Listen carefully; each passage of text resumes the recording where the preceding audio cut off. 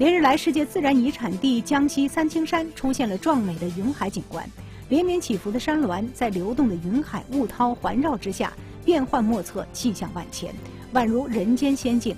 仰望巨蟒峰、女神峰，波起风涌，浪花飞溅，惊涛拍岸。